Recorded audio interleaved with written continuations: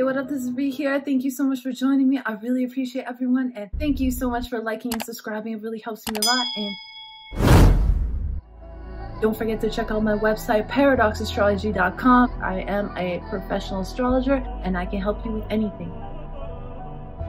Okay, let's get into this video. Have you guys ever wondered what kinds of dreams there are? and what they mean. And are there different types? Have you ever wondered that? Always wonder that because I have very vivid dreams. So I'm going to tell you. And they all mean something different. So this is according to the book. This is the Tibetan Yoga's Dream and Sleep. This is such a good book. Tenzin Wangyal, he's profound. He's really profound. And he talks all about dreams. And this is just such an interesting book. He talks about, I've said this before too, and I didn't realize this was a real thing. This is just what I came up with, but it's in the book and it says that. He talks about many monks and people having spiritual experiences that the meditation, your dreams, and reality and sleep are all connected. Once you heal one, it will heal the other. When something happens in real life, it'll show up in your dreams. If it shows up in your meditation, it'll show up in real life. It's all connected. So to heal yourself, you can heal yourself through your dreams, or you can change your reality through your dreams, just like you can through your meditation. All the same thing, different processes. So he talks about the different kinds of dreams, and your level of consciousness will determine what kind of dreams you're having. So the more you meditate or you practice yoga and you do different things like that, you're going to raise your level of consciousness, mantras, things like that, and you're going to be able to lucid dream and control your dreams. And this is so important because once you start controlling your dreams, dreams, you're going to realize that you can control your reality. That in reality, physical reality, you're actually just asleep and you just got to wake up. And he says, for example, that if you're in your dream, all of a sudden there's a wave coming at you, right? You're not going to be afraid and say, oh, I'm going to die. Oh no, right? And be in fear and then wake up and then be in fear the rest of the day. Like that something's going to happen. No, what you're going to be able to do now is realize you are the wave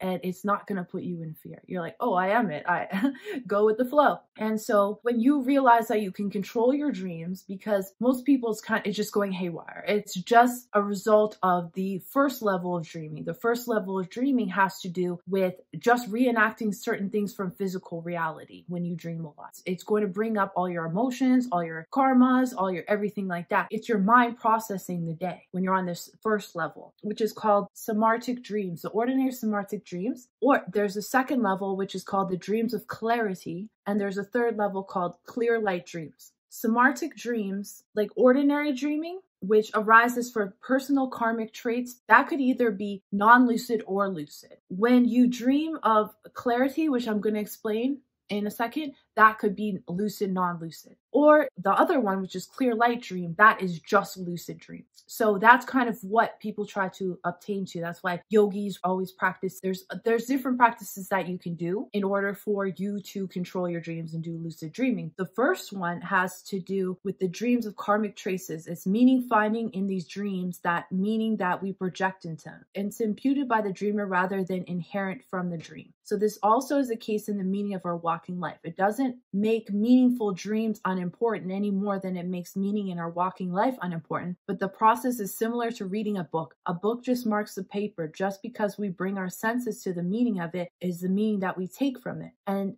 the meaning of the book, like a dream, is a subject to interpretation. Two people can read the same book, have entirely different experiences. One person may ch- change their whole life based on the meaning that was found in the pages, while the other one will mildly interested or not at all. The book has not changed, the meaning has been projected into words by the reader, then read back. So that's what your dreams are. Only you really, or a master of dreams, will understand what that really means to you. Then there's the other one, which is dreams of clarity. Myself, I've experienced this dreams of clarity a lot of times, and that's why I really love this book because it really explains. I'm sure there's others out there like me who are wondering, like, what does this mean? Well, the second level is where it's a process in the dream where dreams become clearer and more detailed, and a larger part of the dream is remembered. This is a result of bringing greater awareness into the dream state. Which can be done with meditation and yoga as well. Beyond this increased awareness in ordinary dreams is a second kind of dream called the dream of clarity, which arises when the mind and the prana are balanced and the dreamer has developed the capacity to remain in non personal presence. Unlike the samsaric dream, in which the mind is swept here and there by karmic prana, in the dream of clarity, the dreamer is stable through the images and information arise. They are based on less personal karmic traces and instead present knowledge available directly from consciousness below the level of conventional self. This is where you can receive knowledge from higher self within your dream and it'll give it to you. I'll give you an example. Now, when I'm studying astrology, well, I'm always studying astrology, but as I'm studying astrology, I do the mantras to the planets, okay? And I meditate on the mantras of the planets and the nakshatra. And in my dreams, whatever one I did that night, it will explain to me over and over in the dream what that planet means, what that nakshatra means, and give me insights that I didn't have before the dream. It will do that. It will also, there's a thing called where it continues your dream. So it will seem you're just dreaming randomly until you start realizing that you keep going back into the same dream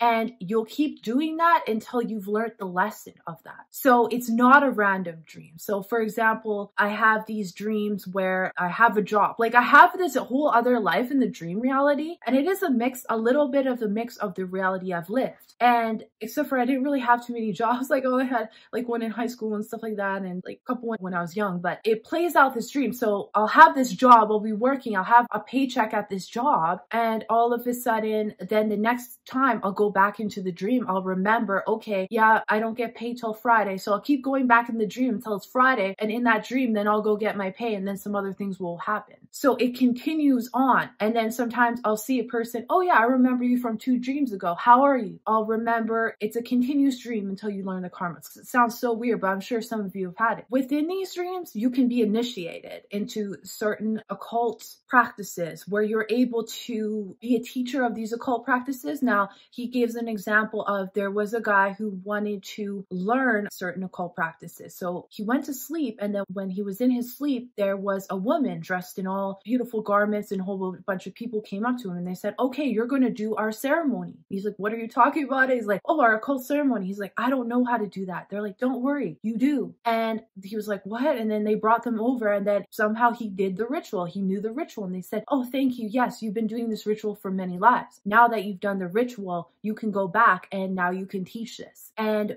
they give you the information through the dream. It wakes up your subconscious because it's really you. It's waking you up to what you really are. You'll gain this information. So then when he came out of the dream, not only do they do that, but if you become a teacher and initiated in the dream or meditation, they will bring you all the students to you worldwide. You'll never have to promote yourself. And I know people who do this. I've seen people who do this who've been initiated, and that's why they don't have to market. They're not online. There's astrologers not online, occultists not online because they've done this initiation. And I do hope to do this initiation one time. I'll tell you that this has happened to me. People have visited me in my dreams, things like that, premonitions, things like that. So that would kind of be more of the second level premonitions. I've also been initiated by beings in meditation. I'll talk talk about that in another dream, but I'm just saying that that can, in another video, but that can happen as well, where you can be initiated within meditation if you go deep enough. Certain entities that you've known in past lives will come to work with you again. And then the third one is clear light dreams. Now, this is the third dream that occurs when one is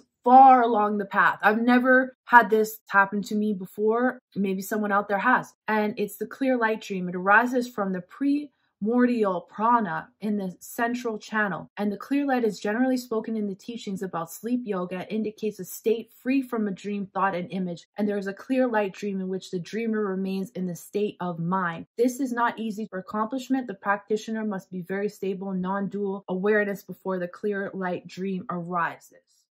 So it's kind of like being all light, but able to control it because it's lucid. That's like a whole other step of beyond. And then once you're able to do that, you're a master in reality. You will become a master of manifestation in the physical reality. Now that takes a lot of practice, dedication, a lot of internal work to do because I'll tell you, I meditate a lot and things like that, an hour a day at least, and then do mantras and things like that. But I still have my dreams. My dreams will still bring up past things, past karmas and things like that. So I'm not even fully at the second level. I still have first level dreams as well. And so that will show you how awakened you really are is your dreams is how are your dreams? Are you lucid? Are you in control of your dreams? This meditative state i have do in meditation all the time. Of non-duality not remembering where i am i'm not afraid. I'm connected to myself. I'm like what life am i living? You get to the point of non-duality and it's lucid. I can decide to do whatever i want but it's hard to know what you want to do because you don't remember anything. Been in that state of non-duality